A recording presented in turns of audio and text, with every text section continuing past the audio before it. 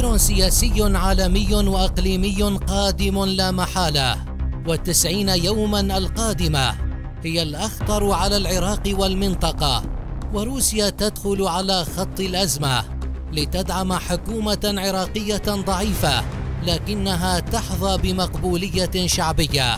والصين تحذر لا نستطيع العمل داخل العراق مع وجود فصائل كثيرة.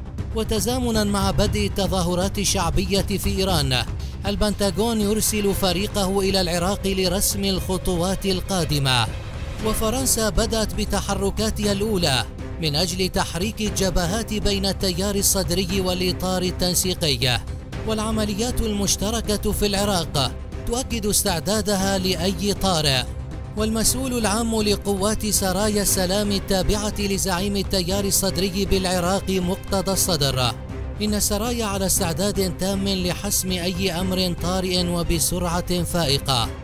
إن سرايا السلام مؤسسة عسكرية مجهزة بأعلى المستويات العسكرية والعقائدية. تؤتمر بأمر الصدر القائد.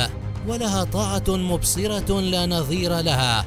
وأوضح أن هذا الكم الهائل من مجاهدية. على تم الاستعداد للدفاع عن الوطن والعقيدة وهي مستعدة لحسم أي أمر طارئ وبسرعة فائقة.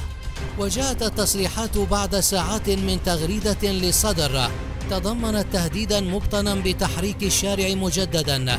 وذلك مع توجه القوى السياسية نحو تشكيل حكومة اولا ثم إجراء انتخابات.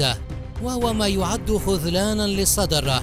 الذي كان يريد انتخابات مبكرة ثم تشكيل الحكومة.